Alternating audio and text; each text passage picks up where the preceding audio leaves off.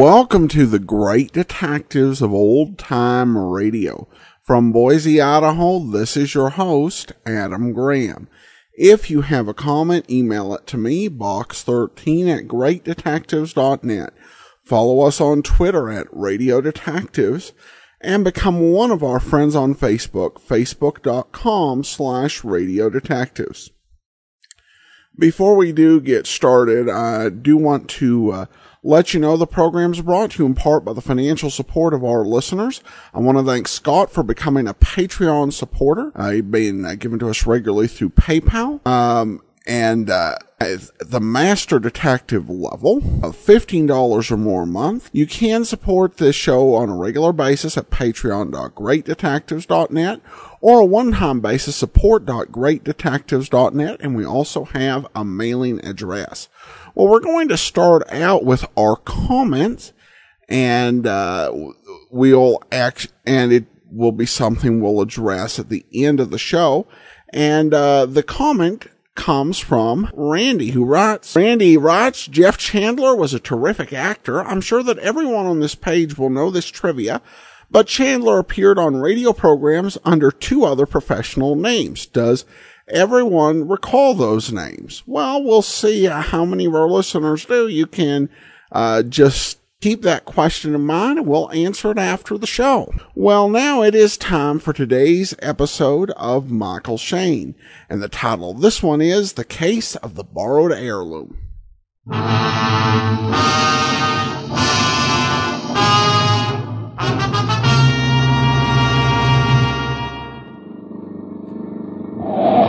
Car started skidding across the wet, slippery road. I tried to straighten it out, but I couldn't. After the hit on the head and the clip on the chin, this was one too many. Yeah, this is a third strike on little Mike, and I went out.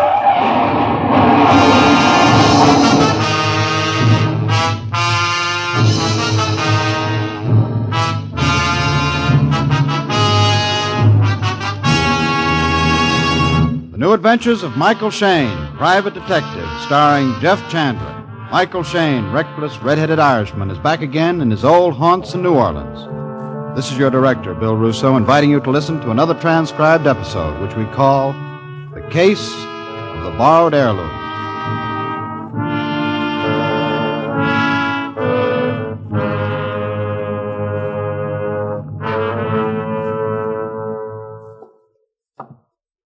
Nurse. Oh, nurse. Yes, sir. Uh, I'm looking for Clarence Drake's room. I'm Mike Shayne. Oh, yes, Mr. Shayne. Mr. Drake is expecting you. His room's right down the corridor, if you'll follow me.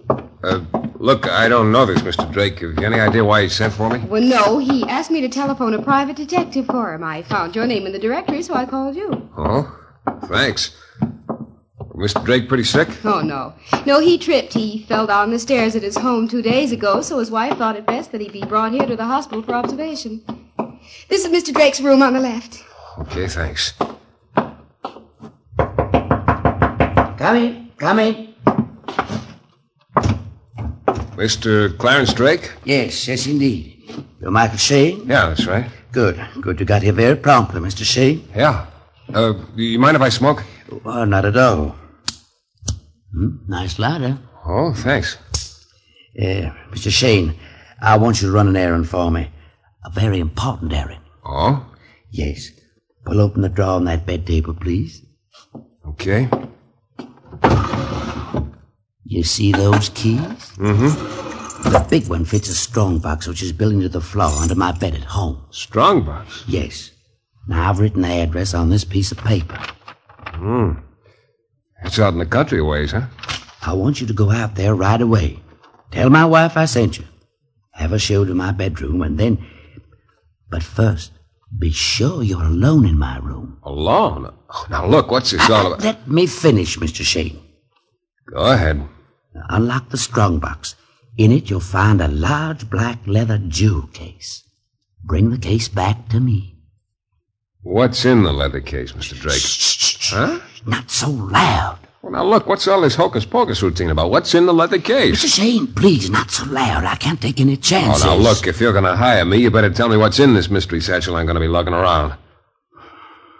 All right, all right. But first, are you sure we're alone here? Alone? Look, you, you don't see anyone else wandering around the room, do you? Nevertheless, I must be sure. Look out in the hall. Now, look, there's no one here. Please do as I say, Mr. Shayne. Okay, okay. There, you satisfied now? Yes. Okay, what's in the leather case, Mr. Drake? Lean over my bed. Oh, for crying out loud. Okay. Now, what's in the leather case? Nothing. What? It's empty, Mr. Shayne. It's empty.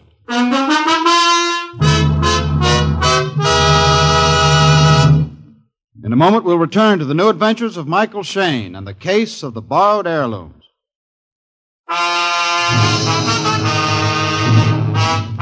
Well, just about the time I figure I'm through being surprised at anything, I get a surprise. Like 60 year old Clarence Drake telling me the jewel case he was sending me out to his house to get was empty. I was to bring it back to his hospital room and report everything that happened. Well, the whole deal sounded a little phony, but at least it was a deal, which was more than I'd had all week. So, an hour later, about 8 p.m., I was pushing the doorbell at the address Drake gave me. A gloomy old two story house in the country. After a while, a woman opened the door.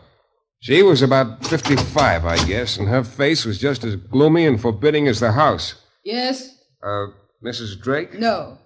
I'm Mrs. Lesperance, the housekeeper. Oh, well, uh, look, I'm Mike Shayne. Mr. Drake sent me out here Why? to get something of his and take it to him, okay? What is it? Well, now, look, if it's all the same to you, I'll talk to Mr. Drake's wife. Come in. Pleasant woman. I followed her down the hall, and then she motioned me into a room on the right. I went in and waited. Like the rest of the house, this room looked tired and depressed. I stood looking out the window for a few minutes, and then I could feel someone staring at me. I turned around. There, standing in the doorway, was a woman about 30. Beautiful in an insolent sort of way. Hello. Yeah. Hello? I'm Lydia Drake. Oh? Mrs. Clarence Drake. You, you mean you're Mr. Drake's wife? What else? Well, go ahead. Hmm? Say it. Say what? What you thinking? What I'm Sure, young wife, old husband. She must have married him for his money. Oh, look, Mrs. Drake, I'm married sure him you... for his money, sure. Take a look around you, Mr. Shayne. This shabby room, the whole dilapidated, beaten down house. Doesn't it look like we're just busting out all over with money, doesn't it? Look, Mrs. Drake, I was surprised that you were so young. That's all. As for why you married Mr. Drake, I'm sure that's none of my business. At any rate, I hadn't thought much about it one way or the other. I know. I know, I'm sorry. I'm sick and tired of hearing people talk about me, watching the expression in their eyes when they look at me. They can't understand someone marrying a man like Mr. Drake because he was kind to her when, when she was his secretary, because she was lonely. Oh, what does it matter? Why am I blurting it all out to you? I don't know. You, uh, used to work for Mr. Drake, huh? Yes, he retired two years ago. We were married shortly after that. I see. Oh, cigarette? Thanks. Hmm, thought I had a lighter here somewhere. Lydia! Oh, Lydia! In here, George. Lydia, I thought you were going to. Oh, sorry. Didn't know we you had company. This is Mr. Shayne, George. Hello. Uh, let me give you a light, Lydia. Thanks. George Hanners Mr. Shayne. He rents a room here. Oh, how are you? Have to make ends meet some way. You see, Shayne, I'm the chief source of income for Mr. and Mrs. Drake. And in return, they give me a fairly decent room and the attic, which I've made over into a Uh, study. George, I'm sure Mr. Shayne isn't interested. Why, don't be too sure, Lydia. After all, most people are interested in the fact that I'm writing a book. Oh? As a matter of fact, some people seem to be extremely interested. Your very charming housekeeper, Mrs. Lesperance. You know how I feel about Mrs. Lesperance, George. I believe I heard my name mentioned. Does somebody want me? My dear Mrs. Lesperance, I'm quite certain nobody wants you. George. Your humor matches the rest of your personality completely, Mr. Hanners. That's enough, Mrs. Lesperance. I'm sure Mr. Shayne has better things to do than listen to this. Well, as a matter of fact, uh, I. Incidentally, Mr. Shayne, I'm still not quite clear as to what you want. I think Mrs. Lesperance said, Clarence, my husband sent you. Uh, yeah, yeah. He wanted me to get something out of his room and take it to him at the hospital. Oh, what was it? Why, uh, a leather case. A leather case. I see. So if you'll show me to his room, Mr. I. Drake's room's at the head of the stairs, Mr. Shayne. Go right on up.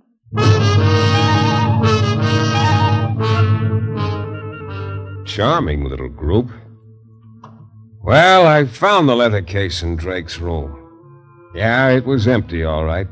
I still couldn't figure out why Drake had sent me after it. I rearranged the furniture and put the leather case under my arm. Then I went downstairs.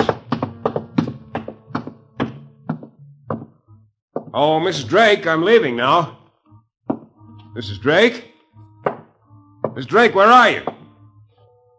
Hmm. Mrs. Lesperance? Mrs. Lesperance? What goes here? George! George? Was no answer from any of them. I poked around the downstairs rooms for a couple of minutes, but I couldn't find anyone. So I went outside. A light rain was falling. I started down the path toward my car, and then as I rounded a clump of bushes, a stick lashed out and caught me full on the shins. The pain doubled me over. Before I could straighten up again, something heavy came down on the back of my neck, and I flopped face down in the mud. I lay there stunned for a few seconds. I could feel someone grab the leather case away from me. By the time I got to my feet, there was no one in sight. I, I was still a little bleary, and I knew I'd have no chance of catching whoever it was, so I started walking down the path again. I got to my car, got in, and started the motor. Before I could pull away, a rugged looking gent loomed up fast beside the car and jerked the door open. Get out. Hey, hey, what's the big idea? I said get out. Get your hands off of me. Okay, you get out the hard way. Hey, cut it out. Now let's have it. Have what? The leather case. Who are you? That doesn't matter. Let's have that case. Oh, look, Abe, are you the guy that clipped me a couple of minutes ago? What are you talking about? Because if you are, you ought to know I don't have the case anymore. And if you are, I got a couple of things to settle with you right now. Don't stall around, stupid. Let's have that case. I told you I don't have it. Okay, okay, bright boy, okay. His fist drove me back against the car, and he came at me. I put everything I had into a left hook, and I connected. He bounced back a couple of yards and went down. Then I saw him fishing around in his pocket. I figured he was going for a gun, and I also figured this was no place to be any longer. I dug out fast, and I didn't look back. I was on a side road leading to the highway. I made a sharp turn, and then I eased up a little. And then out of nowhere rode a dark sedan. It came at my car fast. And before I knew what was happening, the sedan sideswiped me. My car started skidding across the wet, slippery road. I tried to straighten it out, but I couldn't. I, I spotted a tree by the side of the road. My car was headed straight for it. I twisted the steering wheel again. No use. The side of my car crashed into the tree and bounced back. Snapped my head like a whip. Waves of blackness started flooding over me. I, I tried to fight them back, but after the hit on the head and the clip on the chin, this one was one too many. Yeah, this was the third strike on little Mike. And I went out.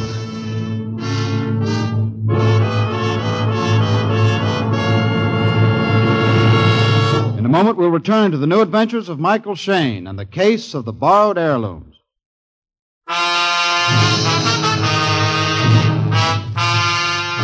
It all started when old Clarence Drake, who was recuperating in the hospital from a fall, hired me to go to his house in the country and bring back an empty leather jewel case. I went out there and met his wife, Lydia, the housekeeper, Mrs. Lesperance, and a guy named George Hanners. Well, I got the empty jewel case out of Drake's bedroom, came downstairs, and found the house empty. So I started down the path toward my car. And then a number of things started happening to me, all of them bad. One, I was rabbit punched and the leather case was lifted from me. Two, I tangled with a muscle man near my car. And three, I got away from him only to have a dark sedan sideswipe my car and send it into a tree. When I came to, I managed to get the car started. Drove to the hospital and went up to Clarence Drake's room. Well, Mr. Shayne, back already? Back already, Mr. Drake. You found my house all right? I found your house all right. Well, did anything happen? Did anything happen? Did anything happen, you? Why, you lunatic, I, I'll tell you what happened. I got hit on the shins. I got hit on the back of my head. I got hit on the jaw. Someone ran my car into a tree and knocked me out. And you ask me if anything happened. Oh, that happened to you? Good. Good. Now look, you It li- proves I was right. Well, now isn't that real nice to know? Right about what? Someone is trying to get my jewels, Mr. Shayne. Oh, no, wait a minute. Wait a minute. You, you mean you were just using me as, as bait? Well, I. Oh, now I've seen everything. Of all the. Mr. Shayne, please don't be angry. Oh, no, no. I, I should be delirious with joy, I suppose. I should be happy for these lumps on my head and my shins. I, I'm sorry about that, Mr. Shayne. I really am. I didn't intend you should get hurt. Oh, well, it won't happen again, believe me.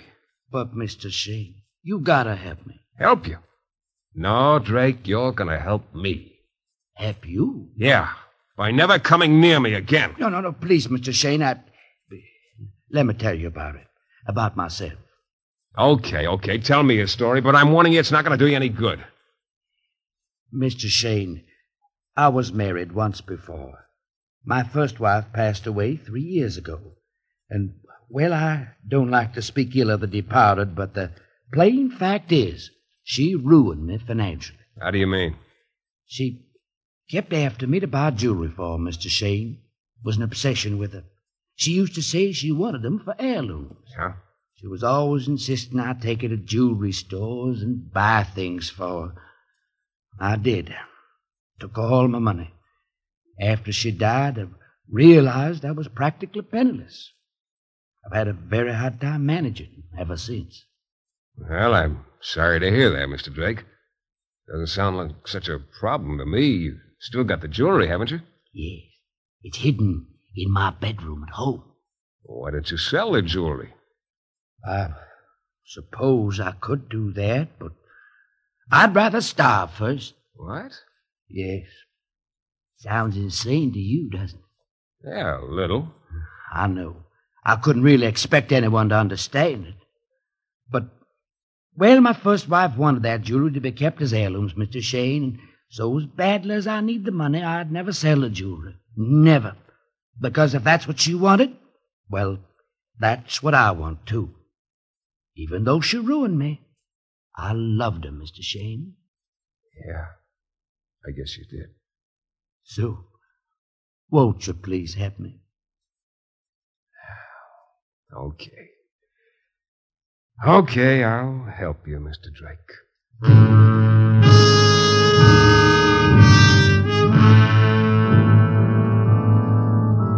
Well, I was willing to admit I ought to have my head examined for sticking with Drake. But there was something about the little guy that had gotten to me all of a sudden. I drove back to the house in the country, parked my car, and started up the path. Then I stopped.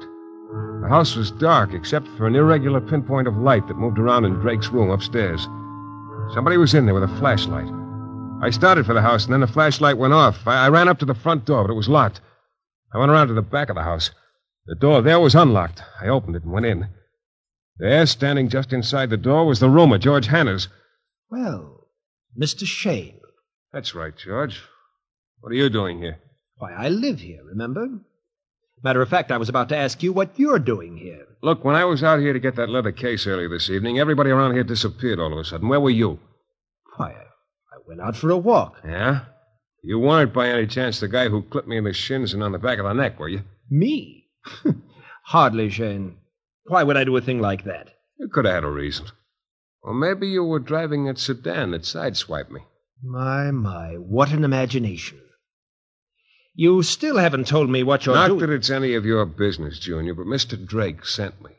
Oh, I see. Still running errands for the old boy, hmm? Well, when I first moved in here, he used to have me galloping around running foolish errands for him. But I finally got wise to him. He's harmless, of course, but uh, just a little, shall we say, uh, strange. That's interesting to know, George.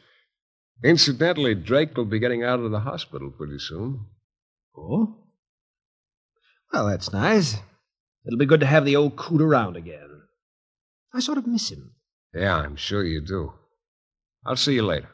I left George standing in the back hall and went toward the living room. There was a light on now, and Mrs. Drake was standing on the stairs. You're back again, Mr. Sheen. I'm back again, Mrs. Drake. What do you want this time? I'm not sure yet. Is that supposed to be a joke? No, it isn't. Mr. Drake wanted me to just uh, sort of look around a little. I see. Uh, incidentally, uh, I didn't know until a little while ago that Mr. Drake had been married before. Yes. You, uh, knew his first wife? Slightly, enough to dislike her thoroughly. Oh. Charming woman, apparently threw away just about all of Mr. Drake's money. Of course, this is no concern of yours, Mr. Shayne. Yeah, you're right.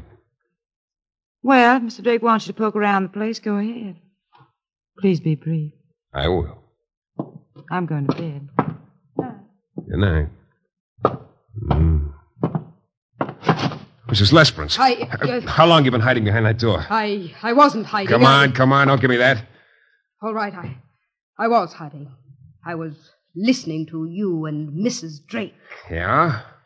Now look, just what's your angle in this deal, Mrs. Lesperance? My angle? Yeah, yeah, I got a strong hunch you're more than just a housekeeper around here. You know, maybe you're the one who's after Drake's jewelry. That's right, Mr. Shayne. Huh? I've been trying to get Mr. Drake's jewelry for a long time. Well, I'll be. Look, maybe you're also the one who hit me over the head earlier tonight. Why, no, Or I- sideswiped my car. I don't know what you're talking about, Mr. Shayne. I must admit I did hire a man to try to get the jewel case from you. The big ape who jumped me at, at my car was your boy, huh? Yes. Okay, that clears up one little item anyway. But you better start talking right now, Mrs. Lesperance. I want a lot of answers from you. Yes. I can't keep silent anymore. Even though I was sworn to secrecy. I must talk now. Sworn to secrecy. What are you talking about? I've been housekeeper here a good many years, Mr. Shayne. I was here before the first Mrs. Drake died. And everything I've done has been done on her behalf. Now, look, you're, you're leaving me way behind. Let's start at the beginning. All right, Mr. Shayne. But not here. Come to my room, please. We can talk there.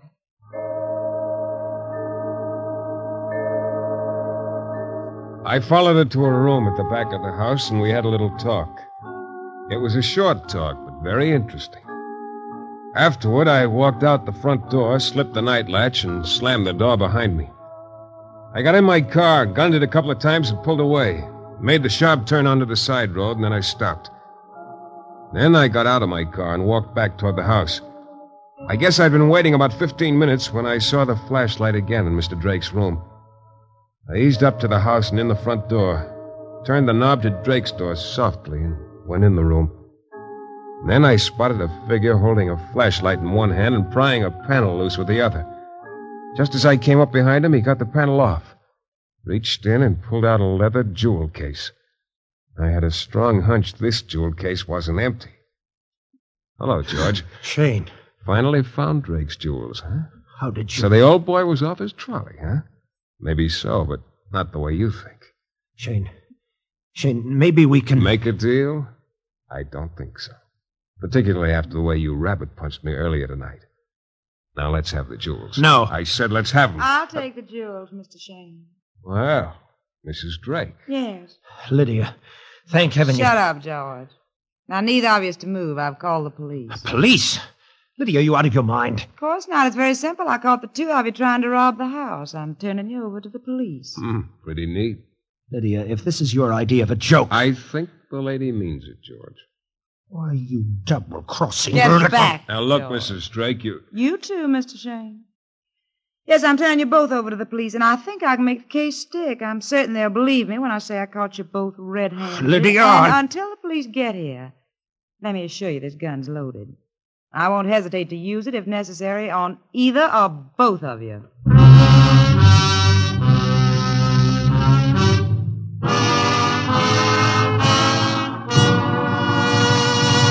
In a moment, we'll be back with the thrilling climax to tonight's Michael Shayne adventure.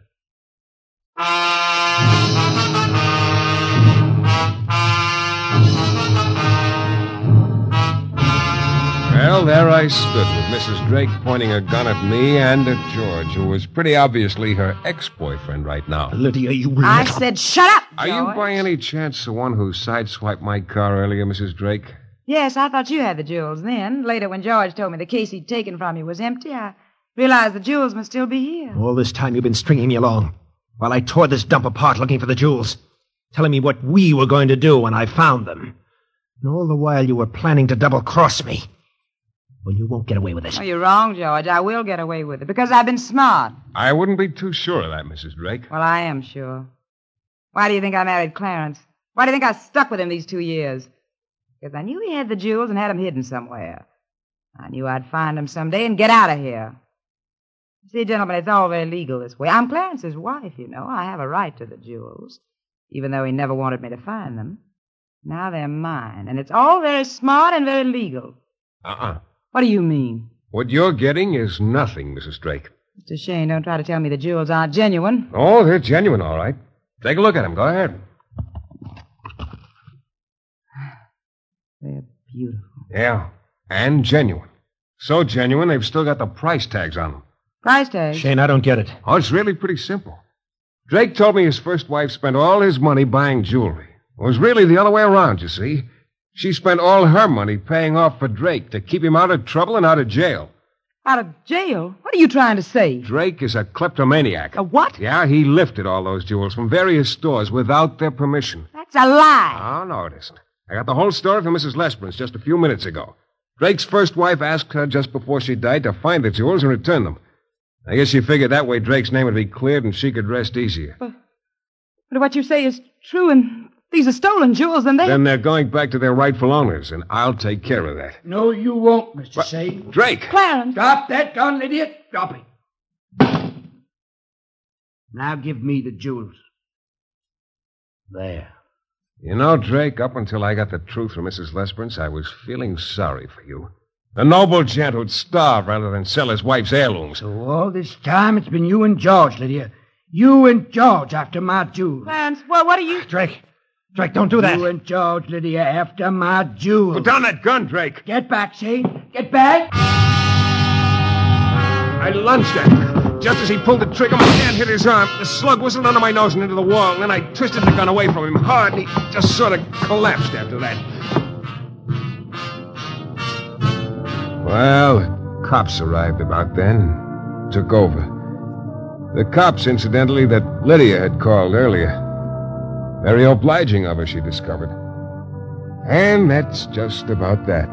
Except I got back my cigarette lighter that Drake had lifted from me. And now I'm waiting for the reward though, on the jewelry. At least it'll be enough to have my car repaired.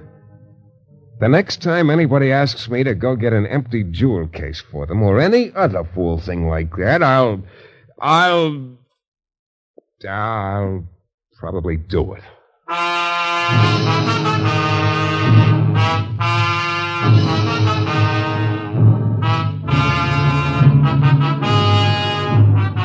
is your director, Bill Russo, again. Our story is based on characters created by Brett Halliday and is written by Bob Wright. The music is composed and conducted by John Duffy, and Michael Shayne is portrayed by Jeff Chandler. The New Adventures of Michael Shayne is a Don W. Sharp production, transcribed in Hollywood and distributed exclusively by the Broadcasters Guild.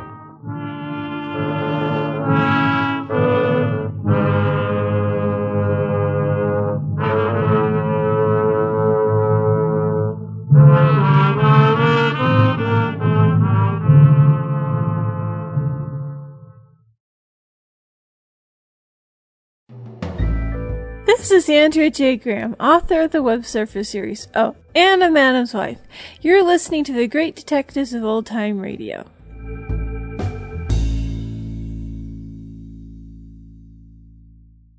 Welcome back. Well, uh, the kleptomaniac explanation felt a little out of nowhere. I did like at the end where Mike uh, admitted, yeah, I'm probably going to, uh, continue to take these sort of cases because I want to pay the bills and, uh, these sort of odd cases are how I pay them. All right. Well, now we do turn to the answer to the question, which was, uh, what two names did, uh, prof- did uh, Jeff Chandler work under professionally? The first was his given name, actually, Ira uh, Grossel. And then uh, on Frontier Town, which uh, Andrew Rhynes uh, did, uh, and I believe the archive will be available over at otrwesterns.com, uh, he went up by Tex Chandler. So that was fun. Thanks so much for that uh, trivia question uh, to Randy, and that will actually do it for today. Uh, join us back here tomorrow for The Avenger, and next Monday, another episode of Michael Shayne. In the meantime, send your comments to box13 at greatdetectives.net. Follow us on Twitter at Radio Detectives and become one of our friends on Facebook.